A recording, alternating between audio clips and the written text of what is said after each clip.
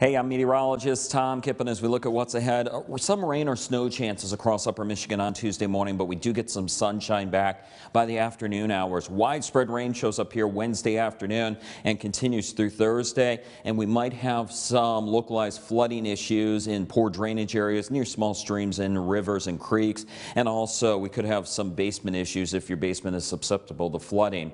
And we can also see some snow on the back side of this in the higher terrain west of Marquette as we go into Thursday night on into the first part of Friday. But as we get towards the weekend, we're looking for dry and quiet weather for the Easter weekend holiday. Here's our local 3 Futurecast through the morning. We'll have clouds and some rain showers and maybe some snow showers, but clearing from west to east across the UP on Tuesday afternoon.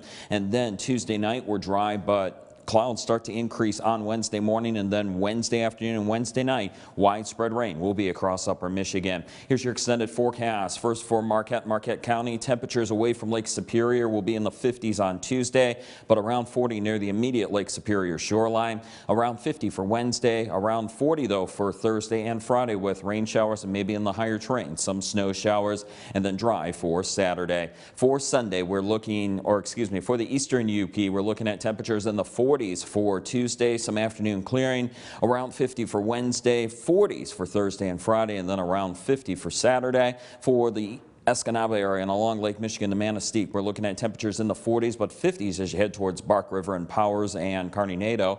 For Wednesday and Thursday, rain moves in 50s on Wednesday, 40s though for Thursday and then 40s for Friday and then we're back into the 50s on Saturday. West we go for Tuesday afternoon around 60 for high temperature, around 50 on Wednesday. We, we do get that rain for Wednesday and Thursday, a little cooler on Thursday and Friday but we're back into the 50s on Saturday and then for the Keweenaw Peninsula 40s for Tuesday Tuesday, and then we'll get some afternoon sunshine, 50s even well inland.